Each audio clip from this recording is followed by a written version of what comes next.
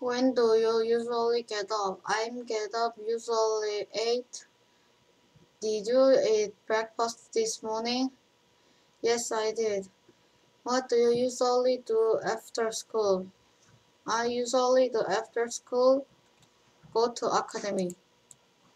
Lost cat. Name Kathy.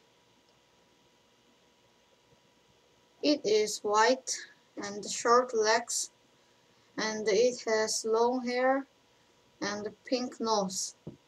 Missing signs last Sunday.